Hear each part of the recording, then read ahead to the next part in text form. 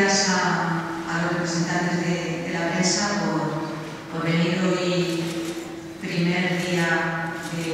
Este año, igual que el año pasado celebramos eh, la Copa del Rey, la Copa de la Reina, pues este año se va a celebrar la Copa del Príncipe y Leganés está encantado, como siempre, de colaborar con la Federación y en este caso, además, colaborar también y apoyar al Club Voleibol Leganés, que esperemos que, que se pueda llevar esta Copa, igual que ayer se llevó Voleibol Madrid la Copa de la Princesa. A ver si tenemos suerte y este año las dos copas se quedan en Madrid. Esta Copa Príncipe supone la culminación de un trabajo, sobre todo con el equipo senior masculino, largo.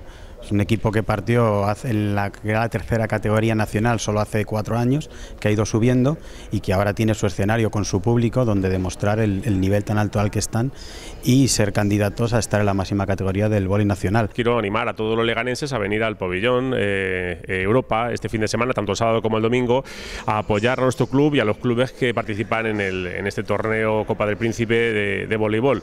La verdad que es un evento importante, eh, un deporte importante en nuestra ciudad, con muchísimos seguidores y la verdad que, bueno, pues como alcalde la verdad que me gustaría verlo lleno o lo más lleno posible, animando a todos los que allí se acercan a competir. Espero el intentar repetir el éxito de los últimos dos años, eh, que el pabellón Europa tenga la mejor entrada posible, sabemos que es muy difícil, evidentemente esto no es la Copa del Rey ni la Copa de la Reina, pero para nosotros estos son nuestros reyes ahora mismo. ¿no? Este año tenemos mejor plantel, el año pasado eh, entramos muy justos como segundos para competir y este año hemos terminado la primera vuelta de primeros, mm, solo hemos pedido un partido y como suele decir por un accidente, entonces también creemos que tenemos ahí una buena baza. Sí es verdad que competimos contra equipos con mucha experiencia pero deportivamente estamos un escalón por encima de lo que estamos año pasado. Leganés en voleibol madrileño es casa, ¿no? es decir, los últimos, los mejores eventos de los últimos años han pasado por Leganés.